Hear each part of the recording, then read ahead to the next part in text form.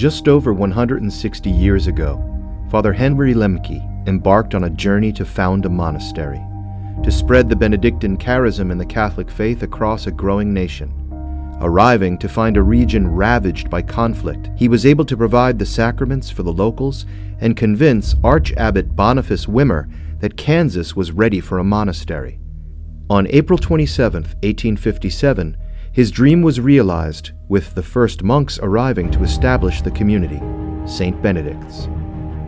In the years that followed, monks continued to flow from Pennsylvania, and local men began joining the ranks of these Kansas monks. In 1858, the monks founded St. Benedict's College, establishing their first apostolate in Kansas. Monks were called upon to offer the sacraments to the settlers, riding a circuit on horseback across Kansas to Colorado, across Nebraska and Iowa. In 1876, with the community reaching 27 in number, St. Benedict's was named an abbey, and Abbot Innocent Wolf was elected abbot. During his 43 year leadership, the community grew to 93 members, and parishes were established to take the place of the circuit riders. Since that time, eight abbots have served as fathers in Christ to the community that has produced three bishops, founded a daughter house in Brazil, and served countless Catholics in northeast Kansas and beyond. Over these 160 years, 272 men have lived and died as Kansas monks. Throughout this history, from a tiny wooden priory to the stone monastery on the bluffs of the Missouri River, there has been one constant prayer. At the heart of the monastic life, taking primacy over all that they do.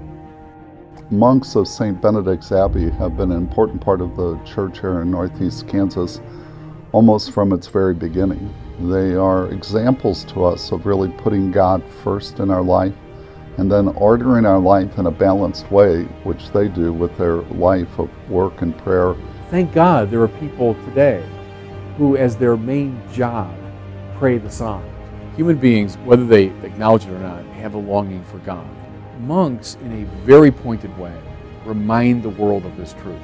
It's the hunger for God, to find peace in God alone. The monks embody that.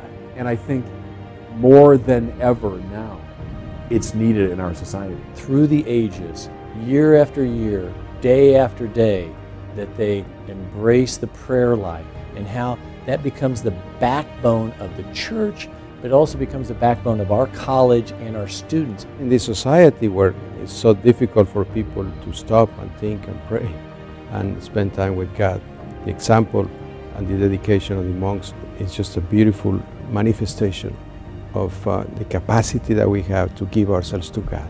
So I think they're essential for the life of the church. In our 160 year history, that what impresses me the most is the dedication of all the confreres that have gone before us to build up this school for the Lord's service, the beauty of their dedication and their sacrifice. To see what our monks are doing today in our apostolates among young people, that excites me, and to see the great spirit of this house to continue on. To stand on this rock that has been given to us, this legacy, and to be able to move forward with that gives us great hope and excitement for the future of St. Benedict's Abbey.